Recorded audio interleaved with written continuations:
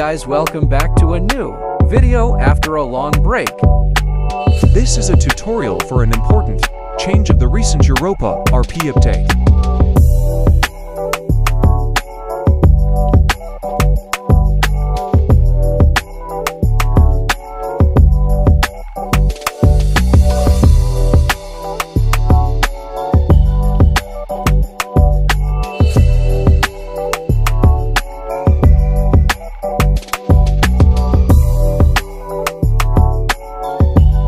After registration or first login after the update, you'll get in this closed hall.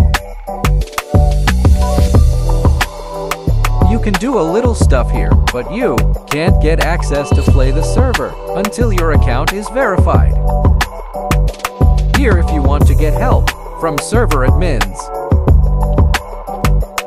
Remember to take complete screenshots of your stats from 1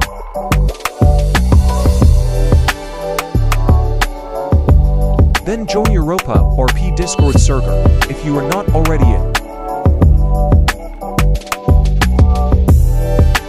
Here in the Europa RP Discord server, you will find hashtag verification channel.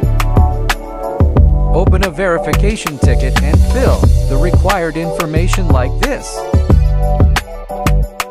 You can put the links to your stats, screenshots, if you don't know how then, say that you will send your screenshots in the ticket like this.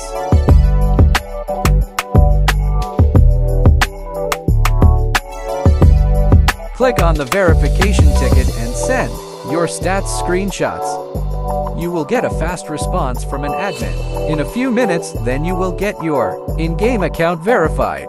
Have a nice day.